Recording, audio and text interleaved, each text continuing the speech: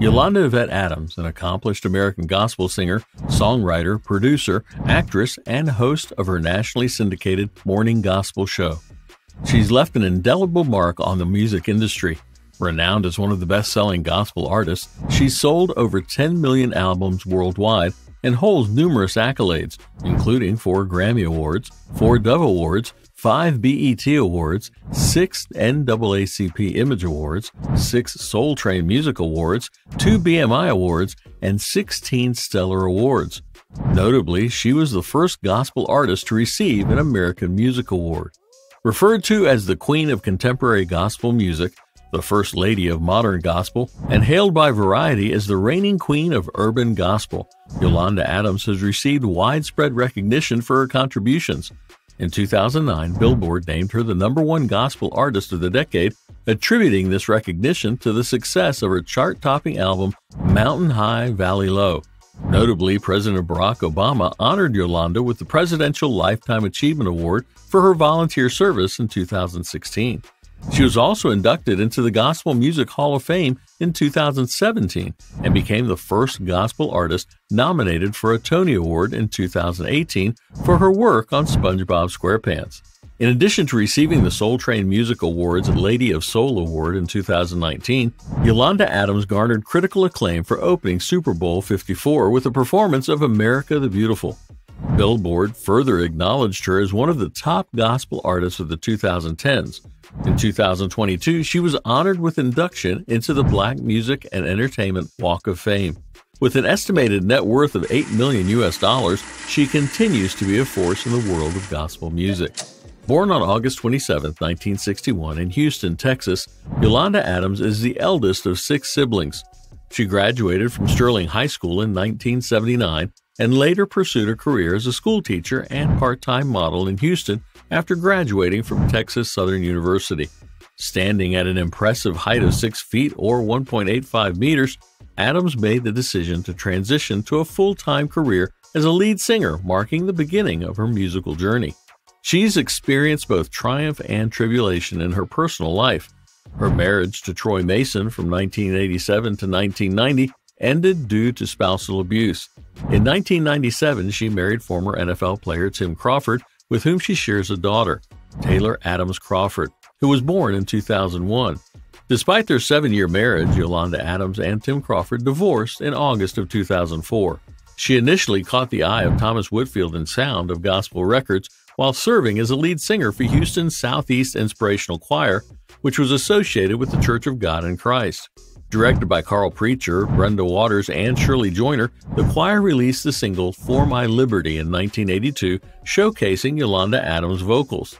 She later appeared on the Edwin Hawkins Music and Arts Seminar Choir's album Give Us Peace in 1986, performing My Trust Lies in You. Following this, she signed with Sound of Gospel, releasing her debut album Just As I Am in 1987. Producer Ben Tankard discovered her in 1990, leading to a contract with his label, Tribute Records, and the release of Through the Storm. Ben Tankard aimed to establish a smoother gospel jazz sound through their collaboration, which received positive feedback across various music genres. She continued her success with albums like Save the World in 1991 and More Than a Melody in 1995, which featured notable tracks like The Battle is the Lord's and Gotta Have Love. She captured live performances in Yolanda Live in Washington in 1996, released initially on VHS and later on DVD and CD. As Tribute Records merged with Benson Music Group and eventually with New York based Zomba Verity Records, Yolanda Adams released Songs from the Heart with Verity, featuring hits like Only Believe and Still I Rise, paying tribute to Rosa Parks. Her breakthrough into mainstream success came with the release of Mountain High, Valley Low in 1999 on Elektra Records, produced with the help of industry heavyweights like Jimmy Jam, Terry Lewis, and Keith Thomas. The album achieved two times platinum status and earned Yolanda Adams a Grammy Award.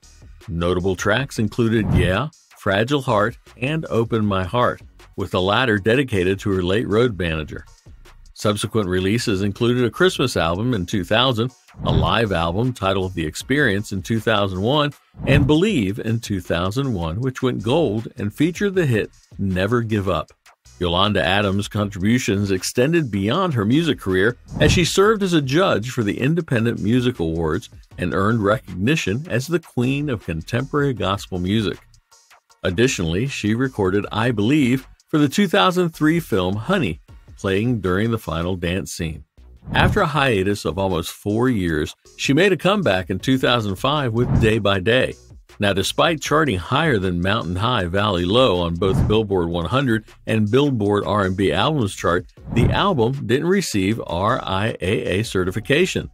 It features singles like Be Blessed, Someone's Watching Over You, This Too Shall Pass, and Victory, notably featured in the film The Gospel. Following her departure from Atlantic Records, they released a greatest hits compilation titled The Best of Me in May 2007. Yolanda Adams then signed with Columbia Records and released What a Wonderful Time, her second holiday collection, in October 2007. The lead single was Hold On. After the release of What a Wonderful Time, she ventured into radio with the Yolanda Adams Morning Show, syndicated in over 26 markets within two years. The show featured Marcus D. Wiley as Bishop Secular, ran for a decade before ending in 2016 and relaunching in September 2019 on Texas Southern University's KTSU FM or 90.9. On December 25, 2009, Yolanda Adams performed Already All Right from her 1999 album Mountain High, Valley Low on BET's The Mo'Nique Show, earning praise from Mo'Nique herself. In 2010, she authored Points of Power, derived from a segment of her radio show, emphasizing living a spiritually enriched life. In 2011, she honored Cicely Tyson at the BET Honors and participated in a tribute to Aretha Franklin at the 53rd Grammy Awards. She also sang at the National Memorial Day concert in Washington, D.C. Her 11th studio album, Becoming, produced by Steve Bracey, debuted on May 3, 2011, featuring the single Be Still. At the BET Awards in 2012, she clinched her fourth Best Gospel Artist Award, marking her as the most awarded artist since the inaugural of BET Awards in 2001. In April 2013, during an episode of BET's Lift Every Voice, Yolanda Adams revealed that she was working on her 12th studio album, yet to be titled or dated, with contributions from gospel luminaries like Donald Lawrence, Israel Houghton, Kirk Franklin, and acclaimed songwriter Diane Warren.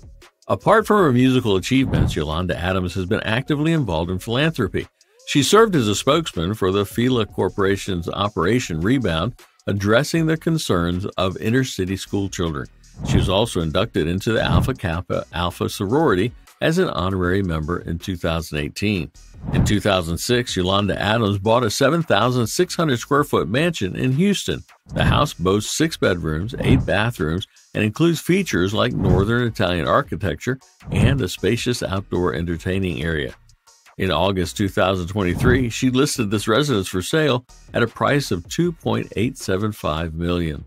Well, that's it for this video. Thanks so much for watching. Go ahead and give us a like and share this video with your friends. Don't forget to subscribe so as not to miss any of our great content just like this video.